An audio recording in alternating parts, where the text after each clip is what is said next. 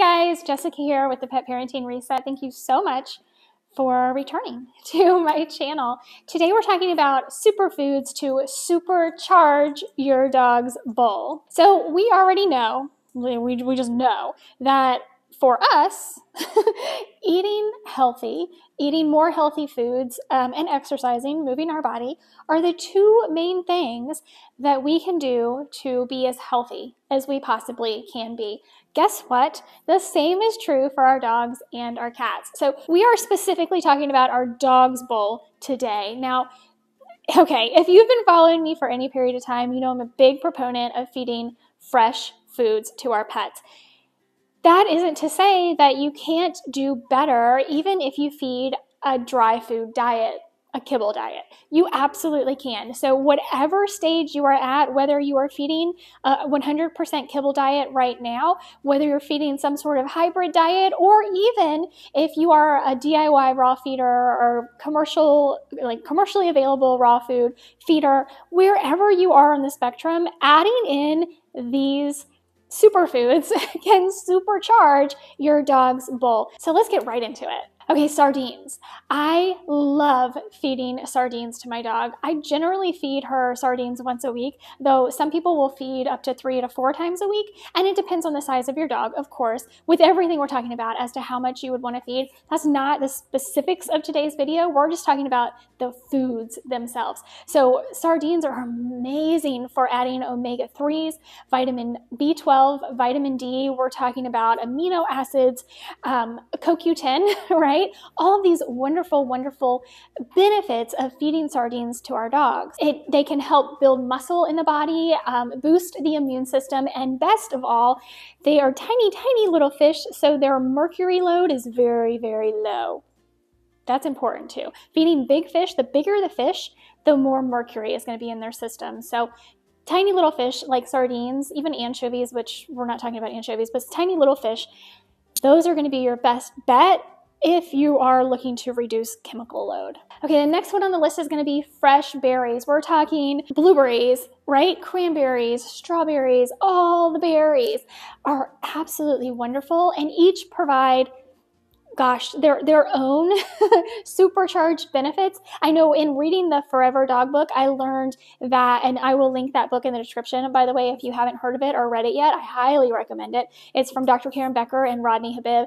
And so strawberries help fight zombie cells. You never heard of zombie cells? I hadn't either, but they're a thing. So go check that out. Berries in general are they are going to help attack those free radicals. They provide wonderful antioxidants and they help attack the free radicals inside the bottom and fight inflammation. Mushrooms. Okay, so mushrooms are a little controversial, and here's the ground rule if it's safe for a human to eat, it is safe for your dog to eat. So if your dog is out there foraging on their own for mushrooms, hmm, we probably want to stay away from that unless you are really good at identifying mushrooms.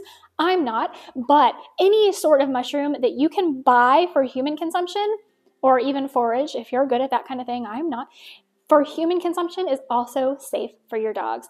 Mushrooms are excellent because uh, mushrooms have been proven to contain antiviral and anti inflammatory and anti tumor properties. They are an excellent source of fiber, which helps all that, all the flora of the gut biome. They help lower cholesterol and regulate blood sugar, the list goes on. Mushrooms are incredible. Bone broth is the next one, guys. Now, I've done a bone broth video on my channel before, and make sure you are subscribed if you're not already following or subscribing the channel because I have planned to do the longevity junkie bone broth, and I'm to put that into a video for y'all as well. What's interesting about the longevity junkie bone broth, and the reason that I'm going to be doing that video, even though I've already done a bone broth video in the past, is that this bone broth is unlike any bone broth I have seen recipes on before. It has a shorter cook time, which we're gonna test out, and it also is more like a bisque than a broth. So very, very interesting, but provides the same like end goal because bone broths contain glucosamine and chondroitin. They support joint health and slow the progression of degenerative joint disease. Bone broth is also great for recovery periods. So if your dog has been sick or they were ill or maybe they had a surgery and they can't have or shouldn't have whole foods in their system yet, bone broth is going to be excellent. It provides an incredible array of nutrients while not overwhelming the body and having to process and break down whole food sources. Also, not sure if you've heard of leaky gut. It's a thing and I've talked about it a little bit in the past. We can talk about it some more in the future, but bone broth is also great for helping heal leaky gut as part of an overall plan. But as part of it, it is incredible. Okay, dark leafy greens are the next one. Now, the thing with plant matter in dogs is that you do want to parboil them or steam them to help their body break down the plant matter. So, while veggies are a big, big topic of conversation in the raw feeding community for dogs, here's the thing yes, dogs are carnivores and no, they don't necessarily require veggies. However, there are benefits to veggies. And this is just a little side note for y'all. While your dogs still do not produce the uh, amylase in their saliva to break down the plant matter that you may be feeding them, the pancreas has adapted over time to help break down plant matter. So, yes, dogs actually can a little bit, break down plant matter. We need to help them along by providing it to them in a form that is easier to digest. So definitely chopping chopping them up, like fine, fine, fine chopping, food processor type chopping. Um, put and, and also parboiling them or steaming them. That's going to help start to break down the cell walls in the plant matter so that your dog can more easily digest them and garner the, all the incredible nutrients that plants offer to us and to them. Dark leafy greens are incredible because of all the nutrients they provide, plus the fiber benefit. They are rich in phytonutrients, which give them antioxidant and anti inflammatory properties. Eggs. Okay, eggs are another great way to add, to supercharge, add superfoods to your dog's bowl. Now, I am planning on doing an entire post on my Patreon for uh, for all of the Patreon family that breaks down the risk and benefits of eggs for both dogs and cats. So while this particular video, we're not going to be breaking down risk and benefit for cats on anything, uh, I think this is such an important topic. So I'm not going to go too in detail in this video. Know that eggs are an incredible, incredible protein source. You can add them any which way your dog likes them raw you can hard boil them, soft boil them, you can poach them, all of the wonders, scramble them even if you want, if, if your dog likes them that way. That's one of the incredible things about eggs is that no matter how you serve it, I don't think we should be frying them for our dogs. I think that is just going a bit too much. But that's my personal opinion. But regardless of how you serve them, your dog is getting the same nutrition from them. And if you do, or if you're interested in learning more about the risk and benefit of eggs for dogs and cats, make sure you join the Patreon family. The link is in the description below. You can join for as little as a dollar a month. But back to eggs, yes, they are an incredible incredible high protein source. They also have fat soluble vitamins A, D, E, and K. Ginger is another really great superfood to help supercharge your dog's bowl. It helps fight cancer and relieve arthritis. Plus, and we already know this about ginger, right? It helps soothe the digestive system and relieve nausea. Okay, turmeric. Guys, turmeric. Okay, so with turmeric, curcumin is the active ingredient that we are looking for. So, whether you feed turmeric, the spice as a whole, or you supplement the derivative of curcumin, which is incredible, curcumin is responsible for the antioxidant, anti inflammatory, antiviral, antibacterial, now I'm up to, I have to switch my fingers, and antifungal properties of turmeric. Okay, pumpkin. So, I feed pumpkin. I used to feed pumpkin more regularly.